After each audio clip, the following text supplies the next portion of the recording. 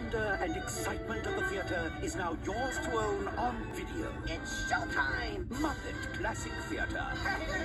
Featuring six classic stories. Ah! Told with that special Muppet grace and sophistication. Good grief. Like the Three Little Pigs. I'll huff and uh, The Emperor's New Clothes. I must be naked! Rumpelstiltskin.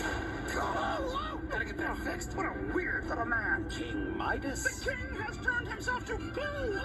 The boy who cried wolf. It's a real wolf! Long snout, big teeth, bad breath.